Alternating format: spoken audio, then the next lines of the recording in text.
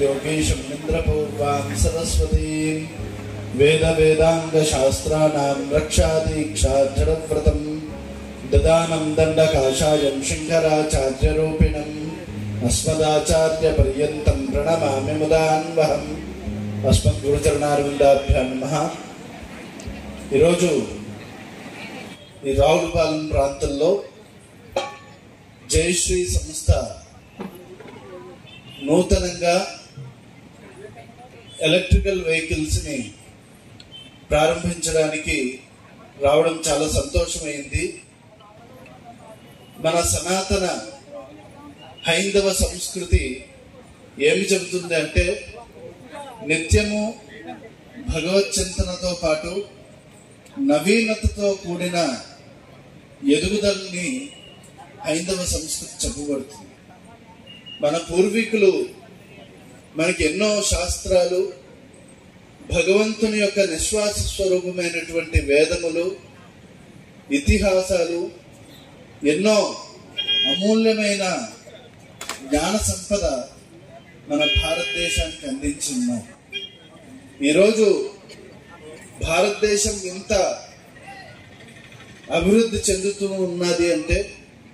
మన సనాతన హైందవ సంస్కృతి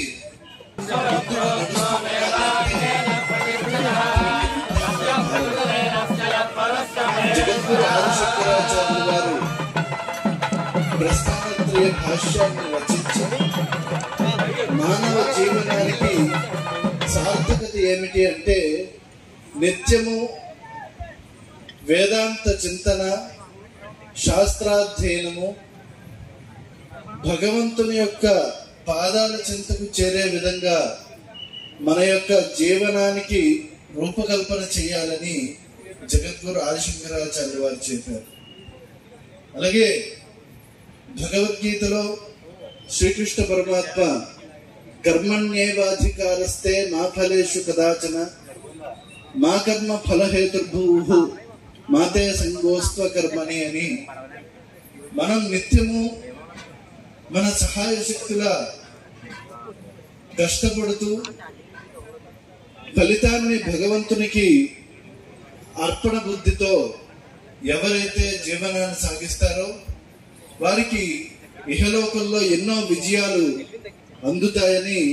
శ్రీకృష్ణ పరమాత్మ చెప్పాడు. అంటే ఈరోజు ఈ జయశ్రీ గ్రూప్స్ అనేది ప్రపంచంలోనే ఒక కొత్త టెక్నాలజీ ద్వారా మన యొక్క ఆంధ్ర రాష్ట్రం నుంచి ఈ రావులపాలెం నుంచి ప్రారంభించి సుమారు ఎన్నో వందల షోరూములు ప్రారంభిస్తూ ఛార్జింగ్ పాయింట్స్ కింద మూడు వేల ఐదు వందల మూడు వేల ఐదు వందల అరవై తొమ్మిది వేరువేరు ప్రాంతాల్లో ఏర్పాటు చేయడానికి ఈరోజు నాంది పలుకుతుంది.